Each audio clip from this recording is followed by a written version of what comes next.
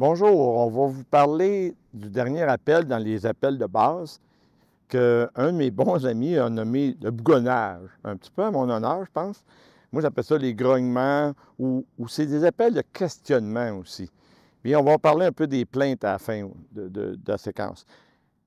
Les bougonnages ou les, appels de, questionnement, les bernages font ça au début, avant d'appeler des, des bernages qui sont au loin, les, bernaches au sol, j'entends. Ils font ça à la fin.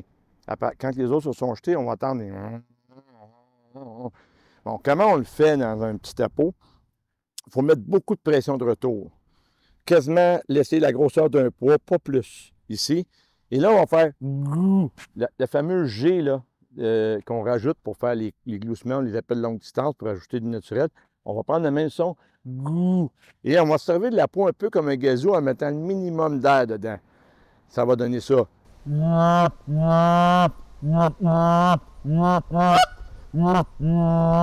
Et vous pouvez faire des petits cloques en poussant cette note-là.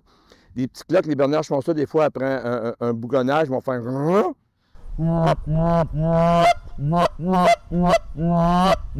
Voyez-vous, c'est pas. Non, non, il n'y a pas de, pas de, de c'est pas râpeux. C'est goût, c'est un vombrissement. Il y a des appos qui n'arrivent pas à le faire. C'est une question de fabrication. Les plaintes. Qu'est-ce que les plaintes? C'est quand vous faites un tout plus clair, la langue plus haute, les bernages font ça de temps en temps, mais ils vont l'intercaler avec d'autres appels. Moi, je m'en sers pas beaucoup, mais ça rajoute du naturel à une fanfare d'appel quand on est avec les cloques. Le cloque, vous pouvez placer des plaintes. Ça sert aussi pour faire une transition entre deux appels. Si je fais un appel longue distance, là, j'ai fait une plainte, je vais faire un clock. Voyez-vous, on, ça, permet de faire des transitions.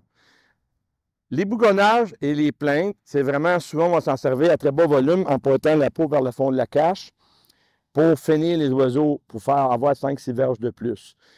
Dernier point, les appos ont un cône sonore très étroit. Vous pointez les oiseaux de loin. À mesure qu'ils s'approchent, si vous, voulez, si vous avez de la misère avec votre contrôle de volume, vous pouvez juste détourner la peau, pointer vers le sol, le son va être moins fort parce qu'il va rebondir sur le sol.